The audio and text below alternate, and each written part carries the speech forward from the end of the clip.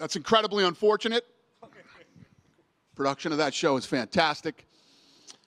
Uh, the guy who runs Showtime Boxing is a great human being. Uh, it's unfortunate to hear this. Fuck Espinoza. and it's about time that that shitty product is off the air.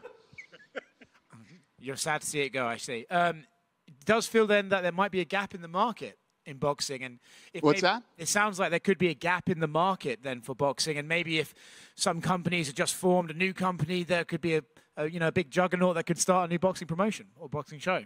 You never know. Sounds good to me.